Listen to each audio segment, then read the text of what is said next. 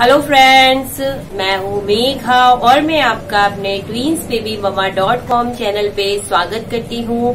तो चलिए फिर मैं आपको बताती हूँ कि आपको बाबू की मालिश करते समय कौन कौन सी गलती नहीं करनी है, ताकि आप जब भी मालिश करें तो उसका जो है बाबू को पूरा फ़ायदा मिले, ठीक है? सबसे पहली जो गलती है जो आपको नहीं करनी है, वो ये है कि आपका जब भी बेबी सो रहा है तो आपको उसको ज़बरदस्ती उठा के मालिश बिल्कुल नहीं करनी है, ठीक है? और आप ऐसा बिल्कुल भी ना सोचे कि अभी हम फ्री बैठे हैं तो हम बाबू को जो है डिस्टर्ब करके उसकी मालिश करते हैं। अगर आप उसकी नींद खराब करके उसकी मालिश करती हैं तो इससे क्या होगा? वो बहुत ज़्यादा रोएगा और बिल्कुल भी कंफर्टेबल फील नहीं करेगा, ना ही उसको बिल्कुल भी अच्छा लगेगा। तो आपको बिल्कुल भी उसके साथ ज़बरदस्ती नहीं करनी है। जब आपका बाबू आराम से खेल रहा हो, हंस रहा हो, तब भी उसी समय जो है आप उसकी मालिश करिए। इससे क्या होगा? बाबू मालिश का पूरा एंजॉय करेगा और आपको भी बहुत ज़्यादा अच्छा फील होगा, ठीक है? और जो आपको दूसरी गलती नहीं करनी, वो ये है कि बाबू की जब भी आप मालिश करें तो आप उसकी बहुत ज़्यादा टाइट हाथों से मालिश ना करें। स्टार्टिंग में जब आप मालिश करें, जब बाबू एक या दो दिन का होता है तो आप बिल्कुल हल्के हल्के हाथों से मालिश करें और जब आप उसके सर में तेल लगाएँ, तब भी आप बिल्कुल ऐसे, बिल्कुल हल्के हल्के इस तरीके से हाथों से लगाएँ, ठीक है?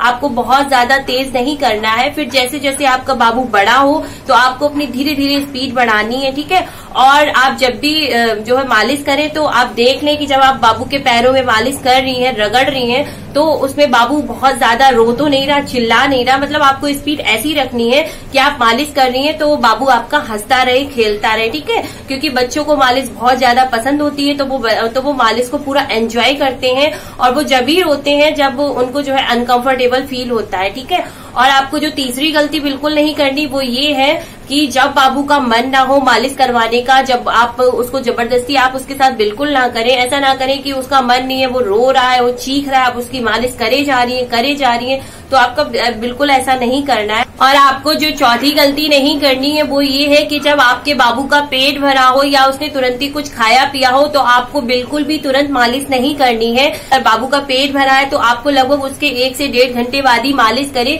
क्योंकि बच्चों को तुरंत खिलाने के बाद में उसकी मालिश नहीं की जाती है। और आपको जो पांचवी गलती नहीं करनी है, वो ये है कि चाहे आज सर्दी हो या फिर गर्मी हो, आपको मालिश करने के तुरंत बाद नहीं नहलाना है।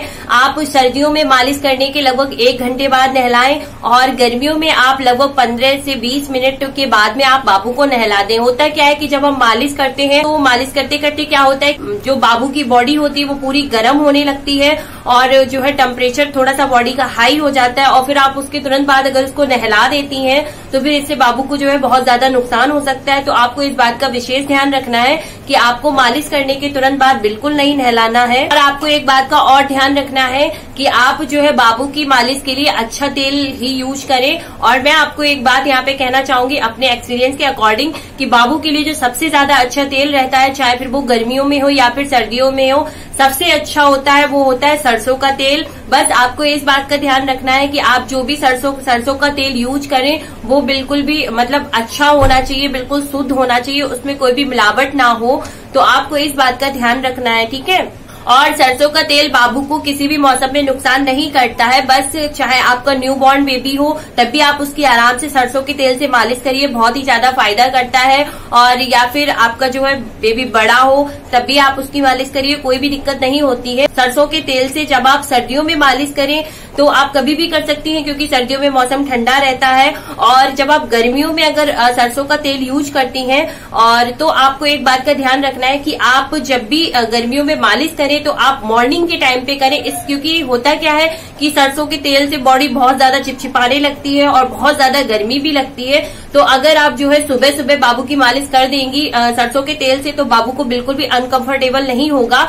तो उससे क्या होगा कि वो आराम से सो भी जाएगा मालिश करवाने के एक दो घंटे तक। फिर आप आराम से उसको नहला दीजिए। आपको इस बात का ध्यान रखना है और आप गर्मियों में जो है नारियल का तेल भी यूज़ कर सकती हैं। गर्मियों में नारियल का तेल भी बहुत ज़्यादा अच्छा रहता है बाबू के लिए। और आपको जो छठवीं गलती नहीं करनी है, वो ये है कि आप जब भी बाबू की मालिश करें, चाहे वो न्यूबॉर्न बेबी हो या फिर वो थोड़ा सा बड़ा बेबी हो तो आपको ये चीज़ ध्यान रखनी है या फिर आपकी बेबी गर्ल हो या बॉय हो, आप जब भी मालिश करती हैं तो जो सरसों का तेल होता है तो उसके प्राइवेट पार्ट में एक या दो बूंद तेल ज़रूर डालें। और एक बात और ध्यान रखनी है, जो बाबू के कट्स होते हैं प्राइवेट पार्ट में जो साइड से कट्स होते हैं, आपको उनको भी साफ़ करना है। जैसे गर्दन में बाबू के मैल जम जाता है तो आपको मालिश करते समय तेल से वो भी साफ़ साफ़ करना है और जो कान के पीछे बाबू के गंदगी हो जाती है तो आपको मालिश करते समय कान के पीछे भी ज़रूर ध्यान रखना है और कानों में एक से दो बूंद ज़रूर तेल डालना है और दो बूंद से ज़्यादा तेल ना डालें बच्चों के। ठीक है? आपको ये काम डेली करने हैं और मालिश करते समय आपको एक बात और ध्यान रखनी है कि जो न्यूबॉर्न बेबी होते हैं तो उनके, आपने देखा होगा जो उनके हाथ जो होते हैं, वो हर समय बंद रहते हैं तो जिस वजह से उनके उंगलियों के बीच में गंदगी हो जाती है तो मालिश करते समय आपके, आप उनकी जो है बीच बीच में इस तरीके से ऑयल लगा के उंगलियाँ भी साफ़ करें और इसी तरीके से आपको पैरों की भी एक एक उंगली साफ़ करनी है, ठीक है? अगर आप गंदगी नहीं साफ़ करती हैं तो इससे बाबू के जो है आ, मतलब बच्चों के जब गंदगी जमी रहती है तो इससे बाबू के रेड रेड पड़ने लगता है तो आपको इस बात का ज़रूर ध्यान रखना है। और ये काम आपको डेली करनी है। और आपको एक बात और ध्यान रखनी है कि जब आप मसाज करें तो जब आपका न्यू बॉर्न बेबी है तो आपको एक से दो बूंद ऑयल उसकी जो नाभि होती है उसके ऊपर भी ज़रूर रखना है। हाँ पर आपको एक बात ध्यान रखनी कि आप ये जो तेल रखें हर जो वो सरसों का तेल ही होना चाहिए। और अदर तेल लगाने की बिल्कुल भी ज़रूरत नहीं है। और एक चीज़ मैं यहाँ पे क्लियर कर दूँ कि जो बेबी बॉय की जो प्राइवेट पार्ट होता है, वो स्टार्टिंग में बहुत थोड़ा सा ही खुलता है। तो आपको आपको उसको स्टार्टिंग से बहुत ज़्यादा खोलने की ज़रूरत नहीं है। अगर आप स्टार्टिंग से उसका बहुत ज़्यादा खोलने की कोशिश करती है तो इससे बाबू का ब्लड वगैरह भी आ जाएगा। तो आपको ये चीज़ ध्यान रखनी है। और आपसे कोई कितना भी बोले कि नहीं स्टार्टिंग में ही खुल जाता है, मुझसे भी बोला करते थे, लेकिन मैं आपको एक चीज़ यहाँ पे क्लियर कर दू, ऐसा कुछ नहीं होता है। जैसे धीरे धीरे बेबी बड़ा होता है वैसे वैसे ही उसका जो प्राइवेट पार्ट होता है धीरे धीरे खुलने लगता है। लेकिन हाँ आपको स्टार्टिंग से उसको खोलते रहना है। अगर आप उसको नहीं खोलती हैं तो आने वाले टाइम पे उसका प्राइवेट पार्ट जो है खोलने में बहुत ज़्यादा प्रॉब्लम्स होंगी। तो आपको ये चीज़ ज़रूर ध्यान रखनी है। और आपको उसके अगर प्राइवेट पार्ट्स में बहुत ज़्यादा गंदगी लगती है तो आप उसके उसको पानी से ज़रूर धोएँ, ठीक है? आपको जो पानी लेना है, ऐसे प्राइवेट पार्ट्स खोल के, ऐसे धार बना के पानी से डालना है।